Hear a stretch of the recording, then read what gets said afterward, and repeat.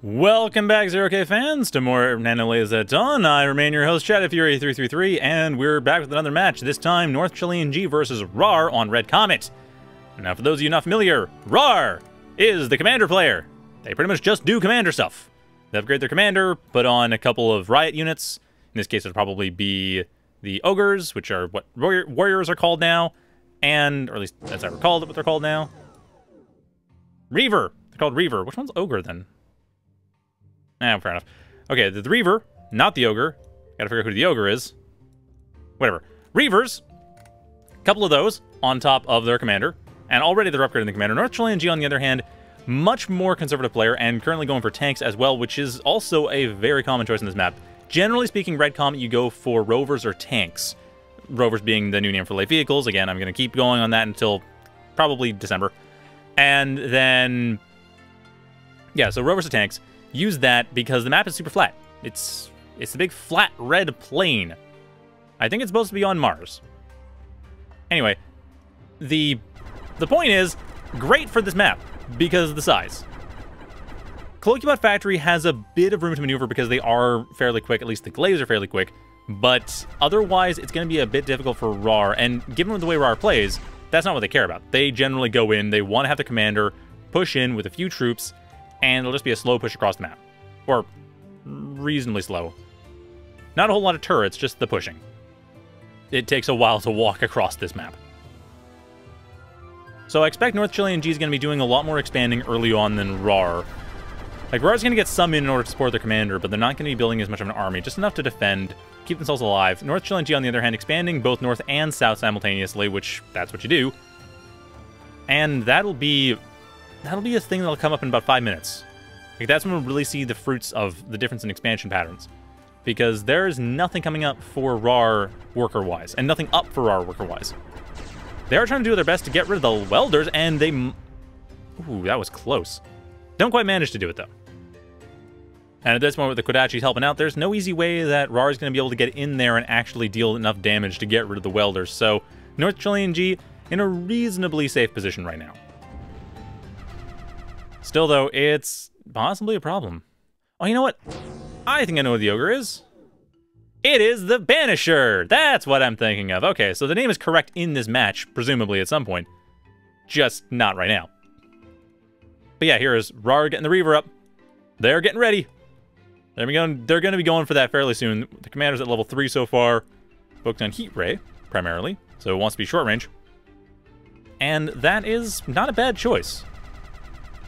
I mean, considering that they're already going in... Actually, well, is it a bad choice? Not a terrible choice. Not a choice I would necessarily go for, though. I wouldn't have thought of going for that, because the thing with the Heat Ray is that you are forced to move in if you want to deal lots of damage. But the idea with Rar's Commander is always just to tank everything and push in. I'm curious if he gets rocket launchers or missile launchers or something afterwards, because that's what I would go for, but I'm not Rar. And Rar knows their commanders. So I'll defer to them on that one. Heat Ray still does deal a decent amount of damage. It's it's not a bad choice. Anyway, North Chilean G, as mentioned, expanding fairly quickly, already one and a half times RAR's economy, as RAR just now getting their first Conjurer. Like I said, this is kind of difficult, not to mention they've been losing metal extractors in the process. Not as many raids have been successful for RAR as North Chilean G. Actually, now North Chilean G with a bit of reclaim to help themselves get even further, at least temporarily, but Static economy is the big difference right now. And North Chilean G making sure to deal with their energy deficit before they start excessing. It's cutting it close, but they should barely manage it. They probably excess maybe 100 metal at most. But for now, really, it's just just North Chilean G's economy is far more effective. Their their attrition is far more is far more promising they're in an extremely strong position, especially with that first Reaver going down. I'm actually a bit surprised that happened. Is that? Oh, that's why. There's a rally point. That explains it. Because there had to be a rally point. Like I said, the way that RAR tends to play this, it would make more sense for these Reavers to start just guarding the commander. Because that's how he usually does it. It's Reavers or Thugs. They just, they go into the commander, latch onto it, never let go, and that's how they keep in the game. And it's quite effective, too. But if the Reavers die, that's not going to work. And at the same time, like I said, North Chilean G is very rapidly expanding across the map. Already got in the northwest corner. South side pretty much completely taken. And RAR expanding more slowly, still expanding over the north side of the map. And again, more more of everything. Getting the rocket launcher, that's what I expected. Heat Ray and Rocket Launcher, that is a good combination. You have the Rocket Launcher for the longer range stuff against slower opponents. Heat Ray if things try to come in close. Of course, speaking of coming in close, this is exactly what these Blitzes and Kodachi are trying to do. The Faraday will cause some problems, but North Chilean G at least knows what's there. That's more the key thing.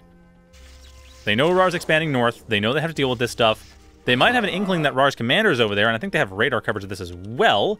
Yes, they do. They know exactly what's going on. RAR's commander's coming in here, and it could be on a suicide mission. All things considered, there is no support. There are blitzes in here, right ready just to get rid of the commander whenever they like. There's, I mean, five of them so far. Six of them, never mind. Sorry, six plus... Yeah, six is being built. Five plus Kodachi currently on the field. This is not going to be a problem whatsoever. RAR's commander essentially just fighting for their life in the middle of the enemy back line with no additional support. Being able to get rid of one of the blitzes, but that's not enough. And at this point, their commander pretty much just locked out and dead. And RAR being as far back economically as they are, they're going to have a very difficult time recovering from this if they're going to recover at all. This could be GG. This could be it. A couple of the blitzes go down in the death explosion, but that does not matter at this point. When you're fighting RAR and you kill their commander, you have done a wonderful service to yourself. It pretty much doesn't matter what you have die in the process of doing that. You've probably put yourself in a massive advantage. As we see North Chilean G has. They have pretty much half the map. These metal extractors haven't been taken yet, but North Chilean G just has, to send a worker there. North Chilean G owns them. RAR at this point, I mean, I appreciate the counterattack. It's good that they're going for this. They're making sure just to take as much of the advantage North Chilean G has away from them. At this point, I mean, we do see that not a whole lot has been... Oops. What is going on? Alt F1. Now fine.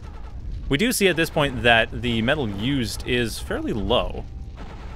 Or, sorry, the difference in metal used is fairly low. North Chilean G a little bit more efficient with their metal, but not by much. The excess has worked out to about 2,000 metals so far, so despite North Chilean G's massive metal advantage, they actually have only got 700 units worth of metal advantage, uh, mind you, plus 1200 metal worth of damage.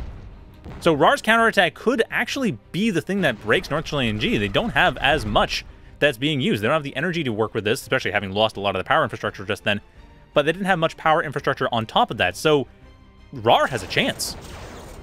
RAR could easily come back here. It's just a matter of whether or not they're able to pull that off. Like, they have to be able to get in there and actually deal with these blitzes. And the Reavers are doing a decent job doing so, but the problem is that there's just so much firepower coming in here that's EMPing everything. Not a whole lot can answer to it. I mean, with the Cloakybot factory, I'm not even sure what you could use to answer to it offhand without just numbers. Like sheer numbers, bearing in mind, Reavers cost a little bit less than Blitzes. And they were doing a fine job. So if you had three or four of them that were spread out enough they didn't all get EMP'd at once, I could see that working. That being said, though, North Chilean G, if they get their power back up, and they are getting their power up, they should be able to start building enough on top of the caretakers that they should be able to get that economic advantage to work in their favor. And even then, despite the excess, there is still more than enough metal destroyed, or more enough difference in metal destroyed, that North Chilean G remains at an advantage. Although RAR, this is exactly what I mean. Enough Reavers, you get rid of the blitzes, that opens things up a bit. North Chilean G right now, they don't have a whole lot of units in play. They're getting a Minotaur that was the old Reaper, but now it's Minotaur. They're getting one of those up, and that's actually possibly a little risky. Minotaurs have a very slow fire rate. It's easy to get units around them and easy to get units to just push in. You might lose one or two, but with this kind of army, they could easily get in there and make the Minotaur's day very miserable and very short. However, the commander is clearly the target. RAR wants the commander dead and wants them dead now. And they can make that work as well. I mean, at this point, North Chilean G is only able to produce as much as RAR, thanks to the power output. There's really no massive economic difference between them, and now RAR's evened out the unit difference, mostly by taking out economic infrastructure, but that's even bigger. The amount of metal destroyed is giving RAR a massive advantage, and that's going to be possibly it. Turning it around, this is a great recovery from RAR losing their commander, and as mentioned before, RAR is known for being a commander-based player. That is their style. They upgrade that commander, they push it, they do everything they can, but it almost feels like they've decided to change around from that. Like they have it there because that's still their thing, but they're not as reliant on it. On the other hand, though, they are able to take advantage greatly of the fact that North Chilean G's power infrastructure was nowhere near as big as, it, as its metal infrastructure, and that was the thing. Because the metal infrastructure for North Chilean G grew rapidly, and they couldn't use it. That gave RAR the opening they needed to take all this territory back, or at least to break the territory. They haven't taken any of it yet. They're still working on it. They're getting a few constructions here and there, which they need to do. Also, it occurs to me, they don't have any storage yet. They, they're excessing loads just thanks to the lack of storage, despite the fact that they are building fairly quickly and managing to use their economy reasonably well. They can't deal with any excess. At this point, I think it's actually... Okay, seriously?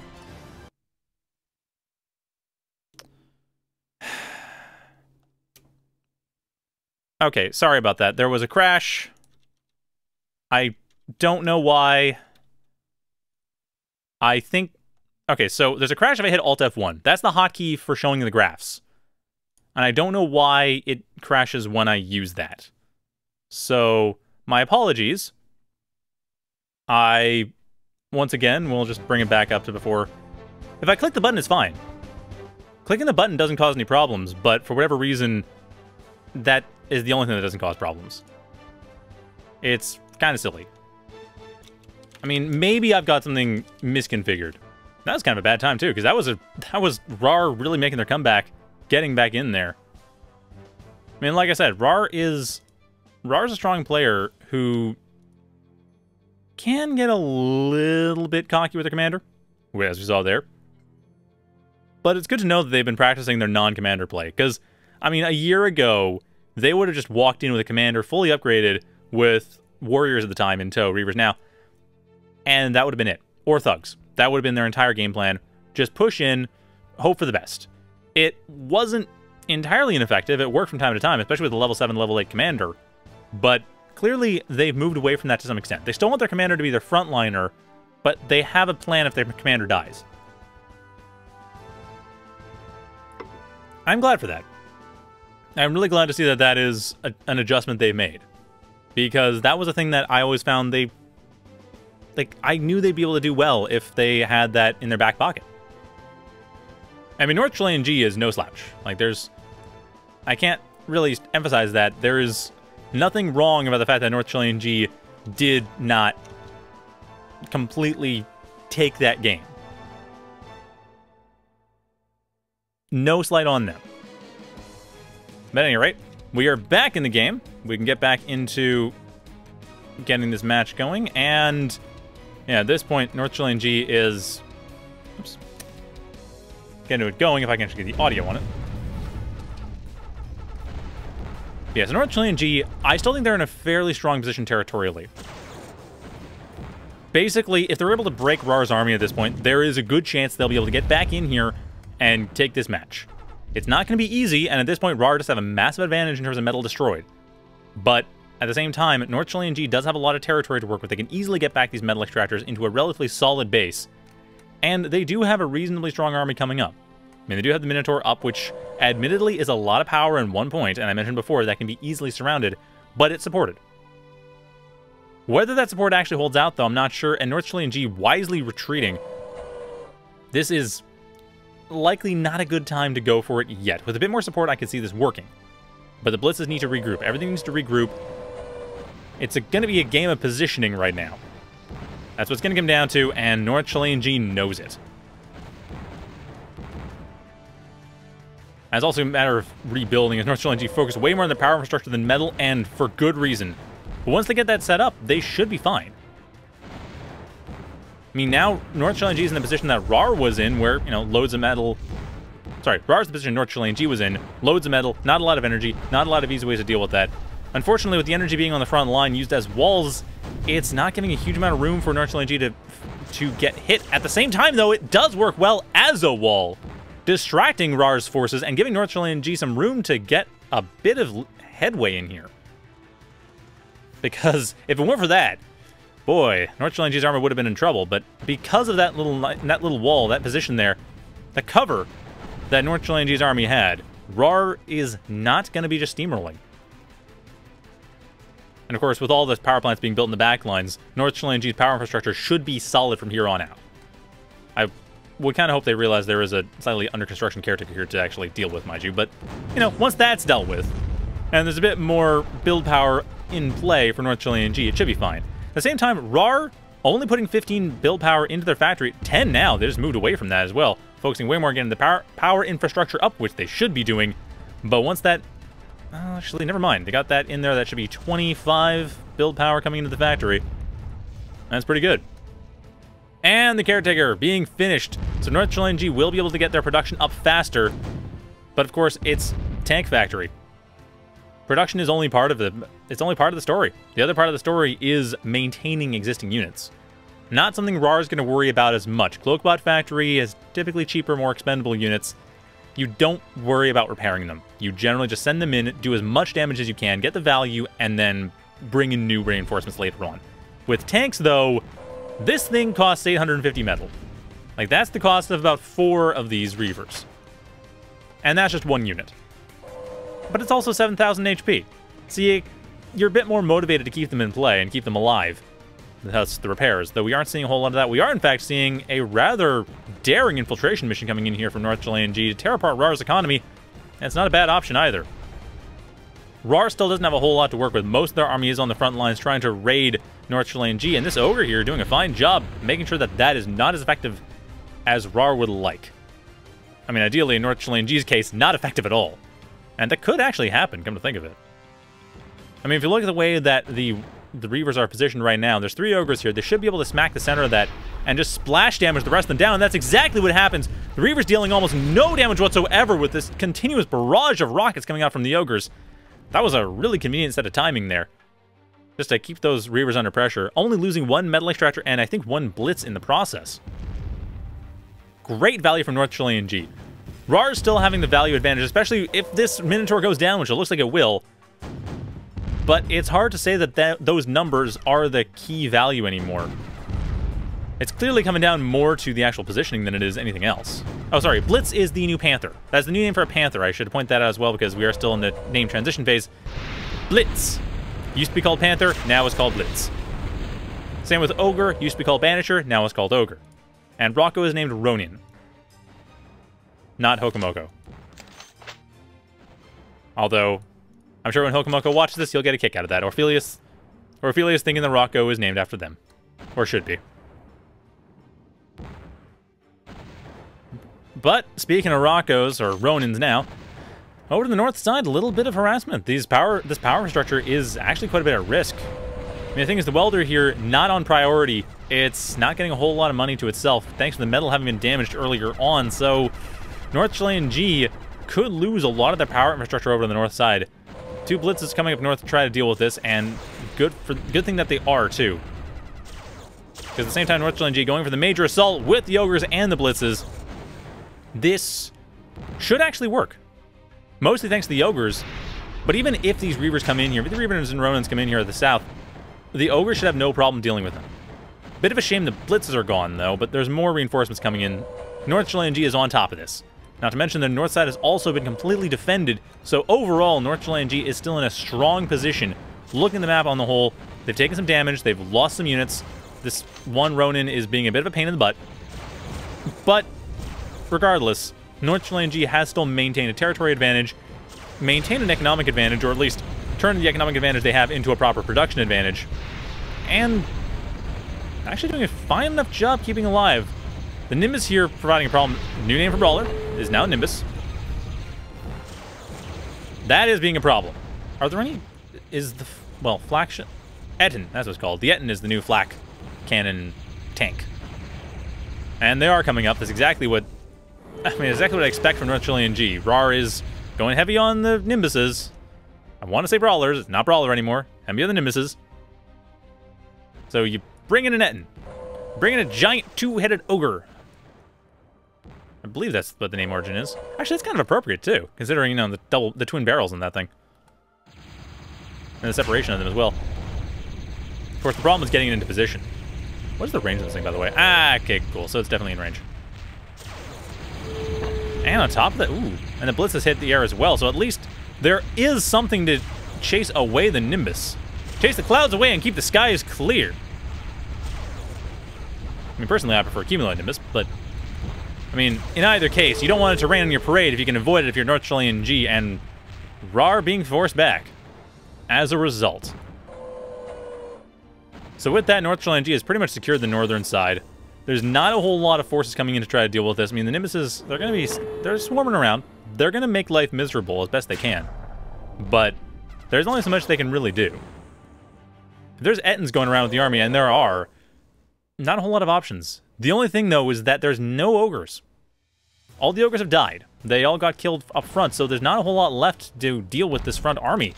Rar's army could manage to get in some mileage, even though a good flank coming in from North Chilean G, a great flank coming from North Chilean G, in fact.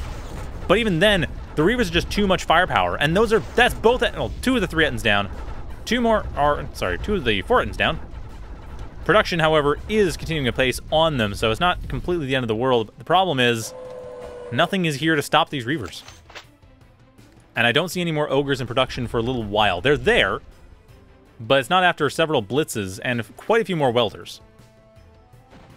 So unless North Chilean G changes their production line, they are going to be on the back foot for a little while, keeping their defenses up, trying desperately to stay alive. And that timing could actually provide the opportunity needed for RAR to get in and completely wreck face.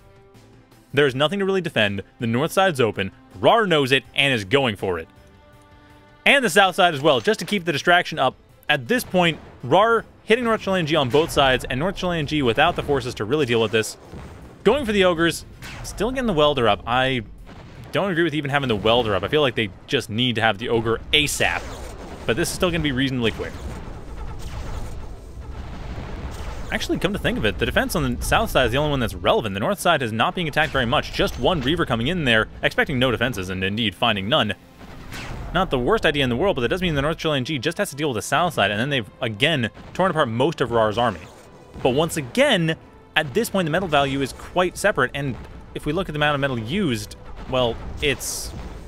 North Chilean G finally getting some advantage. 4,000 metal advantage, but a 9,000 metal discrepancy between RAR and North Chilean for destroyed units.